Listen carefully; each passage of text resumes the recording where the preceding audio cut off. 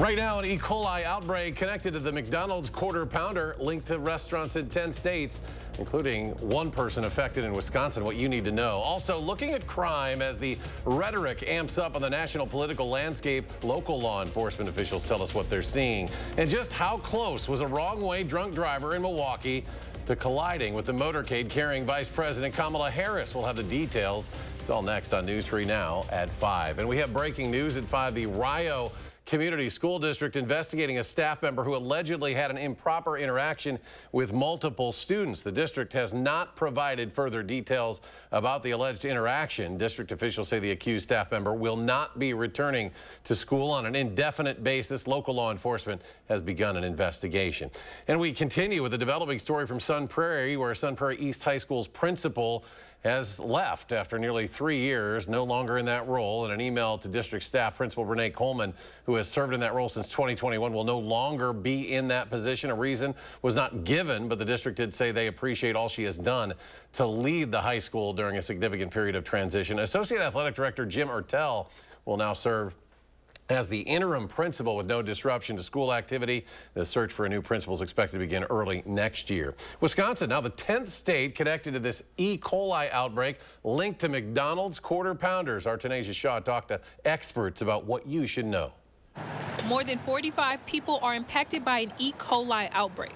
All of them ate a quarter pounder from McDonald's with contaminated ingredients. You shouldn't be worried inherently anymore right now than any other time as far as eating out. According to the Center for Disease Control, one person is dead. These cases are causing some stores to stop selling the burger or remove onions off the sandwich. I bought a quarter pounder from a McDonald's here in Middleton. When I open it up, you can see the sesame seed bun, onions, pickles, ketchup, and of course the infamous patty. Now, this looks pretty standard for a quarter pounder, and that makes sense. When I talked to employees inside, they said nothing has changed about the way they make the quarter pounder. Almost all the time when there's an outbreak of a gastrointestinal um, organism like this E. coli, uh, it has to do with um, people not washing their hands properly and, and transferring from one person to another. And so that then could you know lead to contamination of any any type of food. If you're feeling uneasy after eating a quarter pounder, experts say you should go to the doctor. Usually you would have something where you just feel ill and then you'd get a bunch of gastrointestinal symptoms. Some people have fever, um, muscle aches, fatigue, that kind of stuff. Um, but the, the the major concern is is the diarrhea. It can take up to three weeks to feel any symptoms, and they can vary. People that are really immunosuppressed, um, the very old, the very young, um, those those type of individuals might have a harder time with this and be at more risk for complications. I contacted the owners of McDonald's in Middleton on Greenway Boulevard and in Madison on Gammon Road. I have not received a response yet. The CDC is reporting that investigators are working to confirm which ingredients are making people sick. Reporting in Middleton, Tenasia Shaw, News 3 Now. Well, during the school day, do you know where your student is? In a new report, one in five children are reported as chronically absent. Wisconsin Policy Forum's report says the number is lower than last year, but still much higher than pre-COVID years. Chronic absenteeism is defined as missing at least 10% of school days, or about 18 days missed per school year. Last year was a peak year for absenteeism, and the numbers have declined since then, although teachers say direct intervention is needed to stem the tide of skipping class. A breezy cool down in effect. Our First Warn forecast. Meteorologist Blaze Keller joins us now. He's on the weather patio. Blaze? That's right, and that cold front is going to bring us our next chance for rain. And if you've looked at the moon these last couple of nights, like uh, like our viewer sent us this photo here that we'll show you in just a minute, you might have noticed, so thank you, Kelly, uh, might have noticed a halo around the moon. This was at a low tide. There's some folklore that says when you see that halo around the moon, that rain, or at least disruptive weather, is going to follow uh, rather quickly behind it. So we are expecting that rain to move in as we head into your Thursday night into Friday. Friday. So uh, very quickly, because she took that photo last night. And then we see some more rain chances as we go into next week as well. We are seeing an increased chance for rain here as we uh, move our way closer to the end of October. So let's jump ahead to a, about 8.30 on Thursday night. That's when the line of showers and thunderstorms is going to move on through here, wrapping up by early Friday, dropping anywhere between a quarter to a half an inch of rain. And for some of us, that's going to probably double the amount of rain we've seen up to this point in the month. Madison specifically, we haven't even seen a quarter of an inch of rain yet. So we desperately need it.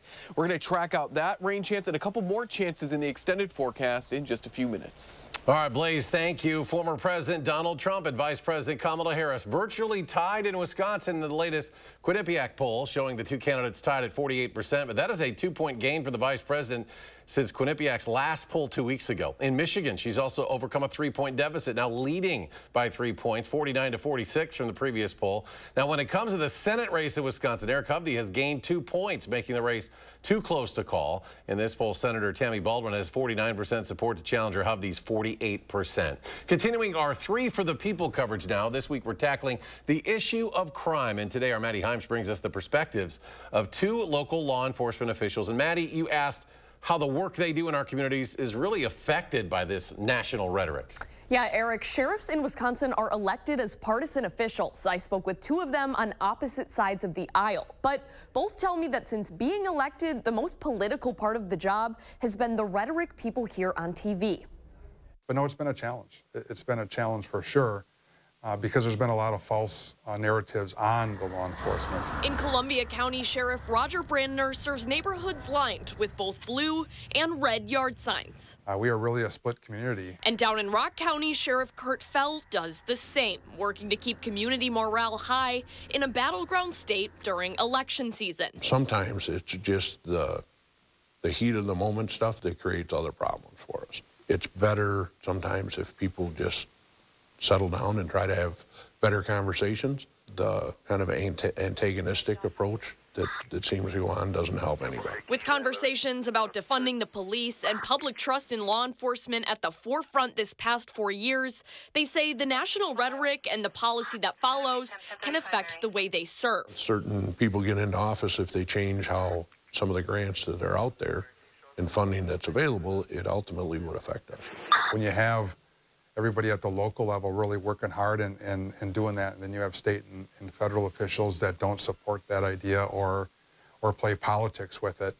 Uh, no, that affects us at, at, the local level. Plus, when changes to federal policies like the border and the economy trickle down, local agencies are left to respond to the effects they can have on crime levels and community safety. Both Brandner and Fell were elected to their current term in 2022, in which Brandner ran as a Republican and Fell a Democrat. The sheriff's office, uh, it, it's a partisan election when we get into it. But regardless of partisanship, both sheriffs say that when they put on the uniform, the only red and blue that matter are the flashing lights. Once we're in, I mean, law enforcement has to, to be the middle player. You can't you can't delve one direction or another. It's not right to the people that are on either side. That 50% and this 50%, they're all good people. And they all deserve our, our professionalism and our attention and, and to do it right. And, and that's the way we focus it. Now, both Brandner and Fell tell me their main focus right now with the election approaching isn't the winning candidate, but the safety and security at the polling places that they serve. Maddie, thank you. Milwaukee police say a man is in custody after driving the wrong way on I-94 while under the influence nearly hitting Vice President Kamala Harris's motorcade. It all happened on Monday night about 830 when a 55-year-old man was driving in the wrong way. This was near the Marquette interchange approaching the motorcade. He was arrested, facing charges of OWI and reckless endangerment. The man said he had no intention of harming the vice president or anyone in her campaign. It is the latest public security breach, however, including the attempted assassination of former President Donald Trump. Meanwhile, Republican vice presidential nominee J.D. Vance is stopping in Wisconsin next week. The Ohio senator will stop at the Racine Memorial Hall Monday afternoon. It'll happen about 5.30. He's expected to criticize the Biden-Harris administration over economic issues while talking up Donald Trump's economic plans. Senator Vance also expected to encourage Wisconsinites to early vote for the Trump-Vance ticket. Well, on the first day of in-person absentee voting, nearly 100,000 people cast their ballots across Wisconsin. The State Elections Commission reporting 97,436 people cast their ballots yesterday, up almost 450% from the 2020 election. However, of course, a large portion of that is due to people voting absentee rather than in person back during the pandemic. On the other hand, half as many absentee ballots have been turned in at this point compared to 2020. There are currently 3.5 million registered voters in Wisconsin. More, of course, can register at the polls on election day. Winter is right around the corner. That means things will get colder. Sidewalks will need to be cleared. Some will use salt. Fitchburg's Department of Public Works reminding those using salt to enhance safety to be conscious of how much you use so you can protect our water quality. Just one teaspoon of salt can pollute up to five gallons of water making it toxic for freshwater ecosystems. Municipalities around the state use tons of salt to keep roads safe, but the SaltWise program manager, Allison Madison, says there are many ways to ensure safety while reducing salt use. So it's calibrating equipment. It's utilizing brine, um, brine both before the storm to prevent the formation of a bond between snow and the pavement, kind of like putting a little oil on your skillet, right? You prevent the bond from forming between food and the skillet and it comes up much more easily. Now for information on how to reduce your salt use at your home or in your community, go to wisaltwise.com. Blaze is back. He'll rejoin us. A complete look at our first warn forecast and how they're turning a piece of downtown Beloit history into an entertainment district. Opening soon, and we'll give you the details. Markets with a dive in midweek trading. The Dow tumbling 410 points. NASDAQ loses more than 296. S&P 500 falls about 54. We'll be right back. You're watching News 3 Now, brought to you by Cardinal Heating and Air Conditioning. Come on, baby. Don't be like that. We can get through this. I know we've had some hiccups, but I can't afford to lose you. A new furnace just isn't in my budget. Worried about breaking the bank? Ask us about our monthly payment plans. Insanity. Doing the same thing over and over and expecting a different result. Would you have done something differently than President Biden during the past four years? Uh, there is not a thing that comes to mind. Kamala wouldn't change a thing? Their weakness invited wars, welfare for illegals, while Americans struggle. Now Kamala wants higher taxes on top of higher prices. We can't afford four more years of Kamala. I'm Donald J. Trump, and I approve this message. When my husband got throat cancer, it wasn't just a health crisis. It was a financial one for my family. And that's something rural families know all too well. Joan Ballweg voted against expanding affordable health care for rural families and against bringing drug costs down. And that's one reason I decided to run against her. I'm Sarah Keyeski, and I'm running for state senate. Because when someone you love needs medical care, the last thing you should have to worry about is how to pay for it. Sometimes the smallest cracks can cause the biggest chills. This fall, watch out for the draft. For quality windows, siding, and doors, call 866 for Feldco. I'm sick and tired of getting ripped off by career politicians. And Tammy Baldwin, she's one of the worst. Baldwin's in bed with Wall Street. While she sleeps in her girlfriend's million dollar condo in New York City, Wisconsin families are getting hammered by high inflation and handouts for illegal immigrants. Tammy and her girlfriend are living large while Wisconsin families foot the bill. Frankly, it's time for Tammy Baldwin to go. I'm Eric Hovde and I approve this message. Join my team and give today. Donald Trump intends to give tax breaks to billionaires and big corporations, to cut Social Security and Medicare, to impose what is in effect a national sales tax. When I am president, I will bring down the cost of groceries. My tax plan will give 100 million more Americans a tax cut. And unlike Donald Trump, I will always put the middle class and working families first. FFPAC is responsible for the content of this ad. I'm Kamala Harris, and I approve this message. Donald Trump makes a lot of promises, but we can be sure of one thing. If he wins, he'll ignore all checks that rein in a president's power. It's all in Trump's Project 2025 agenda. What does that mean for you? Higher cost on groceries, cuts to Social Security and Medicare, more tax breaks for billionaires, and a national abortion ban putting women's health at risk. A second Trump term, more unhinged, unstable, and unchecked.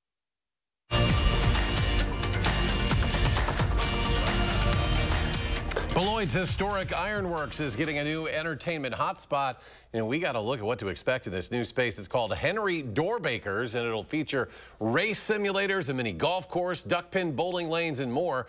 The entertainment center's namesake opened Beloit's first bowling alley back in 1899 and expanded bowling really across several towns in Wisconsin. General Manager Julio Petri says that this place brings the best of different types of fun together to make for a better experience. So Dave and Buster's is if you're it's just arcade.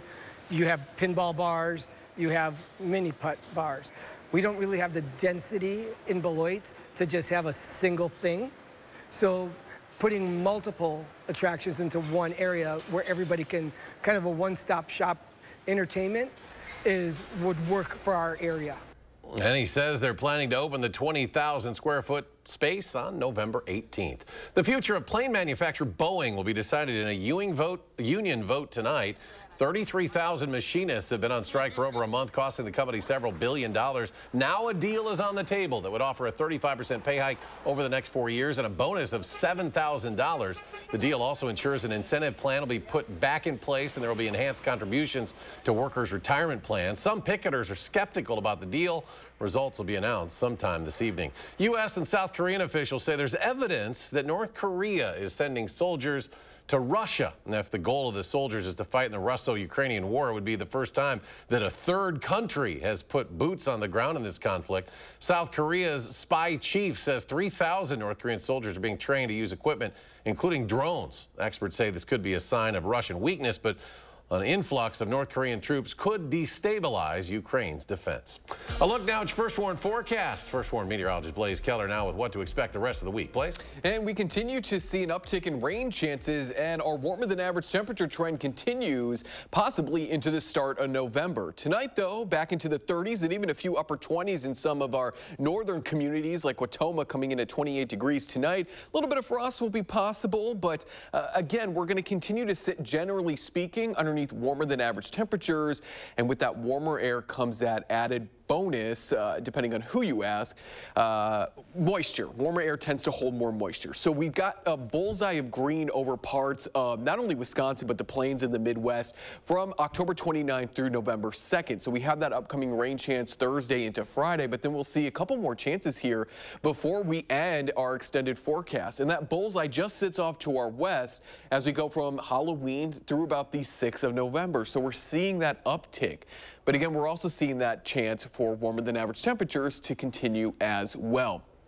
So let's take a look at uh, that next chance for rain after Thursday, this coming up Thursday into Friday's uh, rain chance. We're have to jump ahead to next Wednesday. Here's another cold front moving on through, bringing with it that chance for showers and a few thunderstorms. But notice at the time when we start to dry out Thursday afternoon, so we should be dry because Thursday is, of course, Halloween for trick-or-treaters, maybe just a little bit of lingering cloud cover. I have to make mention of this. Despite the fact that we have been dry as of late, we have these drought conditions, Anywhere that you see a green here is operating with a surplus of rain since the start of the year through yesterday's date. And even where we find these pockets of blue up near Green Bay, into northwestern parts of Dane County, as well as into parts of southeastern Dane County and Rock County, that's upwards of eight inches of extra rain compared to normal. So I just want to put that into perspective that while we are going to be getting more rain, we are operating, most of us, at a surplus of rain throughout the entire year. As I mentioned, with the additional uh, chances for wetter than normal conditions comes that chance for warmer than average conditions as well. We have a near 80 to 90% chance of sitting underneath warmer than average temperatures through the end of the month into the start of November, and that continues even into that 8 to 10 day, for 8 to 14 day, excuse me, uh, forecast as well. We'll be pretty seasonal Saturday but then we jump to about 20 to 25 degrees warmer than average for our high temperature as we go into next Tuesday as well. So all of our forecast highs compared to normal over the next 10 days are expected to be warmer than average. 60s tomorrow with increasing cloud cover. We should be at about 56 degrees. We'll be in those low to mid 60s. With Halloween right around the corner, our forecast of about 59 degrees is pretty seasonal, but just slightly warmer than average. There has only been four Halloweens that we've actually recorded falling snow back last year and then the snowiest back on 2019 of four inches of snow falling. And for folks who maybe don't really want snow to fall on Halloween, don't worry. Only 9% of all Halloweens on record have recorded snow, and that drops down to 2% if you take out all those trace amounts of snow. There was a look at your 10-day forecast taking us into the start of November. Showers and thunderstorms should wrap up in time for trick-or-treaters, as I said, by next Thursday, which of course is Halloween, but we're back up into those upper 70s to low 80s for next Tuesday. Let's quickly take a look at traffic across southern Wisconsin. We are seeing uh, just our normal slowdown spots in Dane County along the Beltline, but south into Janesville, the north into the Dells, it looks like uh, traffic is moving pretty smoothly. Blaze, thank you. We come back. A Texas high school band bring a different type of sound to their homecoming football game. The story just ahead at 5.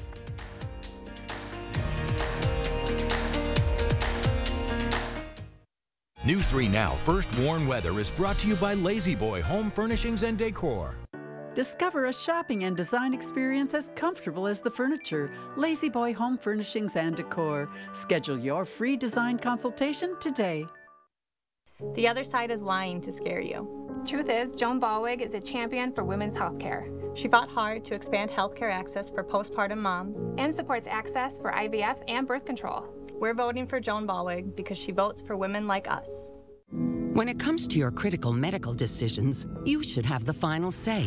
But extreme politician Joan Ballweg says you're wrong. She supports criminalizing abortion even after rape and incest. Or to save the life of the mother, Ballweg would jail doctors for giving life-saving care. And Ballweg even wrote the law that could deny women access to birth control. Joan Ballweg would put extreme politicians in charge of your body and put all Wisconsin women in danger. Insanity. Doing the same thing over and over and expecting a different result. Would you have done something differently than President Biden during the past four years? Uh, there is not a thing that comes to mind. Kamala wouldn't change a thing? Their weakness invited wars, welfare for illegals, while Americans struggle. Now Kamala wants higher taxes on top of higher prices. We can't afford four more years of Kamala. I'm Donald J. Trump, and I approve this message. This is Senator Tammy Baldwin. This is her life partner, Maria Brisman, a Wall Street exec who makes millions advising the super rich how to make money off industries Tammy regulates. Tammy doesn't get home to Wisconsin most weekends. She'd rather be in New York at Maria's $7 million condo. That's why New Yorkers have given Tammy over $1.3 million. Tammy Baldwin's not Wisconsin's senator anymore. She's the third senator from New York. I'm Eric Hovde, and I approve this message. With high inflation, working families like mine are hurting, and Kamala Harris helped create this mess. Now, while Americans struggle, Kamala spent our tax dollars putting illegal immigrants up in hotel rooms, and she supported spending our tax dollars to give illegals sex changes. It's not just liberal, it's insane. Kamala Harris can never, ever be our president. Preserve America PAC is responsible for the content of this advertising. How extreme is Todd Novak? He thinks a woman's most private medical decisions should be up to him. Todd Novak has a 100% anti abortion rating. He supports letting politicians ban abortion with no exceptions for rape, incest, or to save a woman's life. And Todd Novak authored the law to ban abortion here in Wisconsin. Elizabeth Grabe will defend abortion rights. She knows private medical decisions are between women and their doctors. Sarah Keyeski, she supports lifting revenue limits, allowing property tax rates to skyrocket unchecked. Keyeski's backers want to ban natural gas to heat our homes, driving utility bills through the roof. That's Keyeski's record, expensive and extreme. You're watching News 3 Now at 5. Sounds of the crowd, cheerleaders, school band are expected at high school football games, but in Fort Worth, Texas, things sound a little different. Reporter Mike Kinney tells us the story of a band that honors its local heritage. We're at the Northside High School homecoming football game. It's all about the school spirit. All of the mums, the big Texas mums, the bigger the better. I'm glad I'm a part of it because I get to make my mom and support my school. We get to make memories that we might never experience again. When I think of homecoming, I think of football. More of the, the American culture. At Northside, we bring a little One, bit of a two, difference. three, ready, and... Mariachi isn't often included in the in the football season. Once they start playing and they start playing those rancheras that everybody knows, this is awesome to see that you're at a football game and you're hearing mariachi music playing at the same time. It's, it's a culture here in, in the north side. The Hispanic culture is very, very large in our population, so we make it a point to be able to have the students come out and, and have a good time. It's really fun to represent my community and my culture. Be able to come out here and do what we love, I feel a sense of pride seeing everyone support us. Mariachi has always been um, a safe space for me. It's always felt like home here. As the first generation in my family, I'm continuing that tradition. So as long as we support the community, com community supports us, I don't think we'll ever die.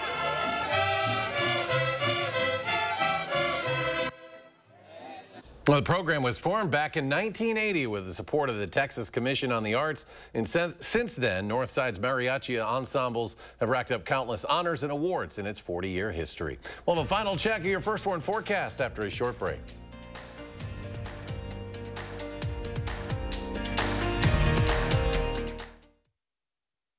During COVID, Joan Ballweg took half a million dollars in federal loans she never paid back. Then voted to block assistance to help other Wisconsin businesses grow. Joan Ballweg, out for herself, not you. My husband and I were elated to find out that we would be having another baby. But after many tests, my doctors agreed that we had to terminate the pregnancy. It was the worst day of my life. You should know that Eric Hovde supports laws that stop me and my doctor from making that decision. And that's a ban with no exceptions in cases of rape or incest. It's a ban that could turn doctors into criminals. He opposes abortion, period. Win Senate is responsible for the content of this ad. Trust your feet to Morgan's shoes. Why Naot? Why not? Feel the comfort and durability of Naot footwear at Morgan Shoes. Naot shoes and sandals feature full grain leathers in a multitude of colors. Naot's cork and latex composite insole is designed for daily comfort and support, and they are made to last. You'll enjoy Naot's luxury. Shop Morgan Shoes Hilldale for your next pair. Comfort with style. Trust your feet to Morgan Shoes. Morgan Shoes Hilldale. Eric Hovde has a problem. A problem with the truth. Time and again, his ads have been called false. He's a desperate candidate, willing to say anything. But here's what's true.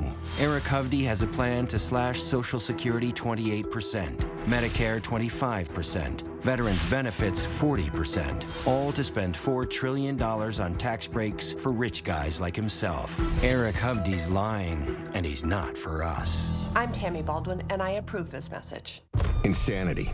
Doing the same thing over and over and expecting a different result. Would you have done something differently than President Biden during the past four years? Uh, there is not a thing that comes to mind. Kamala wouldn't change a thing? Their weakness invited wars, welfare for illegals, while Americans struggle. Now Kamala wants higher taxes on top of higher prices. We can't afford four more years of Kamala. I'm Donald J. Trump, and I approve this message. We count on gasoline to power our cars, our tractors, our way of life. So why is a city slicker from Miami, Elizabeth Grabe, okay banning gas-powered vehicles? Extremists like Grabe want to eliminate fossil fuels, robbing hard-working families, farmers, and small businesses of their vehicles. Miami Liz's radical ideas hurt our families and our main streets. Don't let Grabe get away with it. Born and raised right here. Todd Novak is our independent voice for common sense, protecting our way of life. This is China, and this is Wisconsin. Joan Ballweg invested thousands of dollars in Chinese companies, but voted against using state funds to help grow companies here in Wisconsin. Joan Ballweg, out for herself, not you. Coming up tonight on the CBS Evening News, Vice President Kamala Harris's blunt warning about a second Donald Trump presidency. Today, accusing Trump of wanting unchecked power if elected. Plus, how both candidates are racing to shore up undecided voters in critical battleground states. We've got that and much more tonight on the CBS Evening News. The FAA ushering in a new era of aviation that brings us one step closer to being the Jetsons. For those of you who remember the Jetsons, there's now a completely new category of civil aircraft known as air taxis. FAA Administrator Mike Whitaker says there will be a new set of rules, operational requirements, and pilot training for these advanced air mobility vehicles. The changes are meant to ensure the safe integration of air taxis into U.S. airspace with possible uses including passenger transport, cargo, firefighting, along with search and rescue. We all thought it would come someday. Final check of the forecast. well, it's going to be quiet tonight. A cool one where you might actually be waking up to some frost on Thursday. But Thursday night into Friday, we could be dealing with some much needed rain. And that's not our only rain chance in the extended forecast. We have to jump ahead, though, to next week. After nearly flirting with the 80s by next Tuesday, we see some showers and thunderstorms Wednesday. But the good news is we dry out in time for the trick-or-treaters there on Halloween, which looks to be about seasonal, upper 50s to low 60s with partly sunny conditions. That's pretty good, actually. As long as it doesn't rain on those costumes. Yeah, no kidding. 59 isn't too shabby. No, not we'll too bad it. at all. All right, Blaze, thanks. We're back in 30 minutes for News 3 now at 6. Stay tuned for the CBS Evening News coming your way next.